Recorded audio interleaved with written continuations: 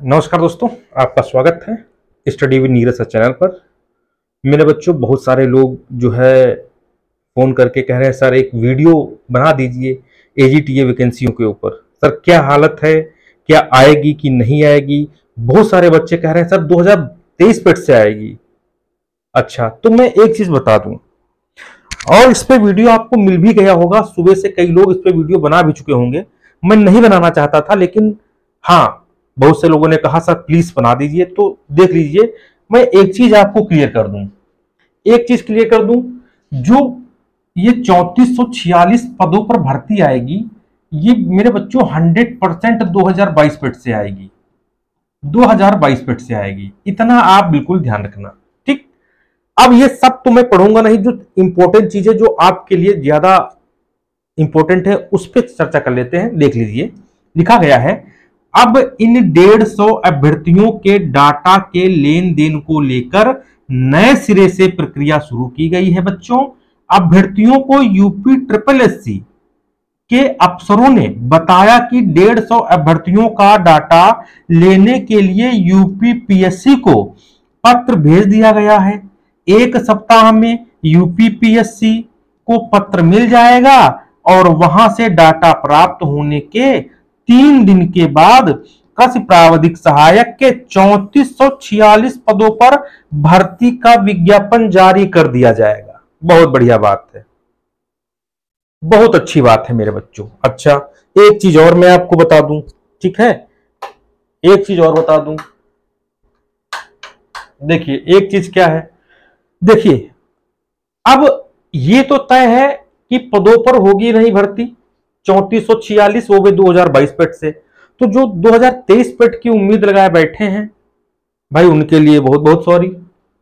आगे जब भर्ती आएँगी, तब उसमें आप बैठना, क्योंकि बहुत से हमारे पुराने बच्चे, बहुत से जो मेहनती बच्चे इस पे लगातार लगे हुए हैं, उनको नौकरी लेना चौंतीस पदों में भाई लाजमी है।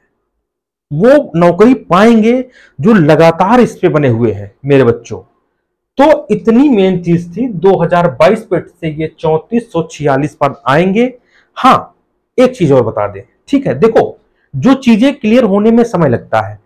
अब कहा गया डेढ़ सौ बच्चों का, कहा एक हफ़्ते के अंदर तो इसको पत्र भेज दिया गया ऑलरेडी यूपीपीएससी को। अब यूपीपीएससी वाले इसका जवाब देंगे, उसके तीन दिन के बाद आपकी भर्ती का विज्ञापन जारी कर दिया जाएगा। 10 से 15 10 से 15 सितंबर 10 से 15 सितंबर के मध्य आपकी वैकेंसी मेरे बच्चों, आपकी वैकेंसीज आने के 100 परसेंट चांस है।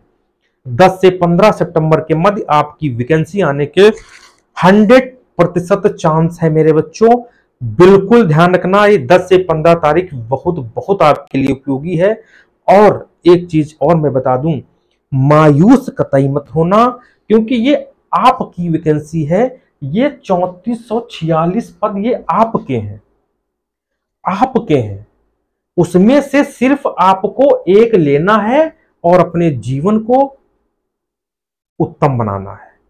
मेरे बच्चों, एक वैकेंसी लेकर इस साल इसमें नौकरी लेकर अपने मम्मी पापा का नाम रोशन करना है और हर हालत में करना है। दुनिया की कोई ताकत मेरे बच्चों, इस बार आपको एजीटीए बनने की नहीं रोक सकती मेरे बच्चों। कुछ भी हो जाए, हमको पता है, इस बार आप बिल्कुल ऐसे पकड़ के एजीटीए को उठाएँगे और बिल्कुल अंदर ले जाएँगे, क्योंकि मौका बार बार नहीं आता है। ये आपको भी पता है। और बहुत पहले जो एक दो नंबर से चूक गए थे, वो तो इस बार कसम खा के बैठे हैं कि इस बार दस नंबर अधिक लाएँगे। पहली मेरा, पहला मेरा सिलेक्शन हो। तो मेरे बच्चों हमको पता है, आप मेहनती हैं, आप नौकरी लेंगे, हंड्रेड परसेंट लेंगे, इसमें लेंगे, वो भी 10 से 15 सितंबर के मध्य आपको खुशखबरी मिल सकती है मेरे बच्चों। इतना आप लोग ध्यान रखना। सिलेबस को कुछ नहीं कहा जा सकता है, जब तक कि ऑफिशियल नोटिफिकेशन ना जारी हो, क्योंकि देखिए, जैसे ही नोटिफिकेशन आएगा, उसमें आपको पता चल जाएगा सिलेबस क्या क्या रहेगा। अभी तो बताए हुए हम लोगों पर विश्वास कर रहे हैं, कंप्यूटर फला फला, लेकिन हाँ क्या पता अंदर क्या रखा हो, क्या पता इनका मूड क्या हो, वो तो नोटिफिकेशन आने के बाद ही पता चलेगा। ठीक है? इतनी बात थी मेरे बच्चों। आपको इंफॉर्मेशन मिल गई होगी। एक चीज़ और ध्यान रखना। जो मुद्दे की बात है, ठीक? दुनिया में बहुत से लोग, बहुत से तरीके के लोग हैं। ताना मारने वाला, कुछ करने वाला, आप उनकी बातों को इग्नोर करिए।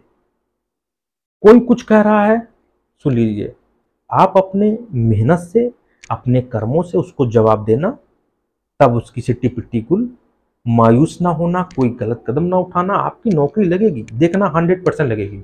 ना लगे तो कहना, कसम खा लो लेकिन, कसम खा लो कि दुनिया की कोई ताकत इस बार एजीटीए बनने से नहीं रोक सकती।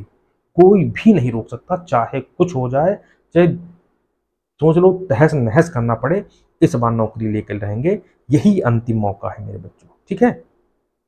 जो चैनल पे पहली बार आए हैं, चैनल को ज़रूर सब्सक्राइब कर ले, जिससे आने वाले सारे वीडियो अब तक पहुँचे और आप अच्छी से नौकरी पाए। तब तक के लिए नमस्कार, धन्यवाद।